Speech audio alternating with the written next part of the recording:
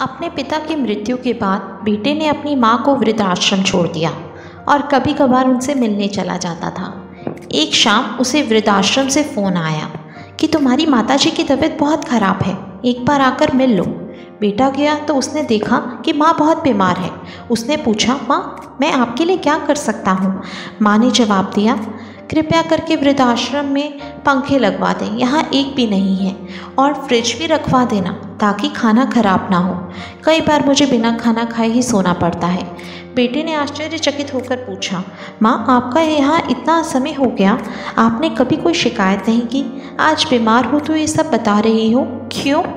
माँ ने जवाब दिया, मैंने तो गर्मी, भूख और दर्द सब बर्दाश्त कर लिया। लेकिन तुम्हारी औलाद तुम्हें यहाँ जब भेजेगी तो मुझे डर है कि तुम सब सह नहीं पाओगे। तो दोस्तों, ये सही कहा गया है। जो बोओगे, वही काटोगे।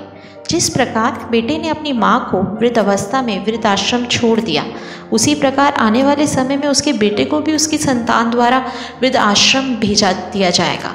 तो कहने का मतलब ये है दोस्तों, एक समय आने पर जो हम कर्म कर रहे हैं, उसी का फल हमें आने वाले समय में भोगना पड़ेगा, चाहे वह कर्म अच्छे हो या बुरे।